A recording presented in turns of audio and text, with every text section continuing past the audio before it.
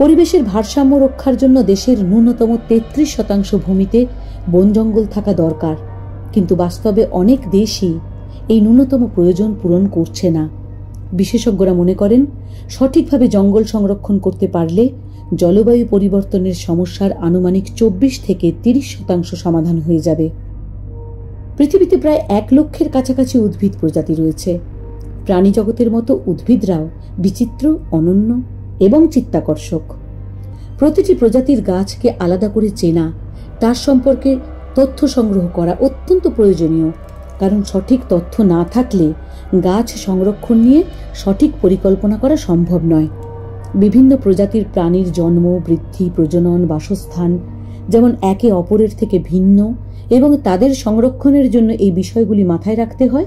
বিভিন্ন প্রজাতির গাছ সংরক্ষণের ক্ষেত্রেও একই কথা প্রযোজ্য। বিশেষত যে সমস্ত গাছের অস্তিত্ব অত্যন্ত সংকটের মুখে, তাদের ক্ষেত্রে এই খুঁটিনাটি তথ্যের উপর জোর দেওয়া অত্যন্ত জরুরি।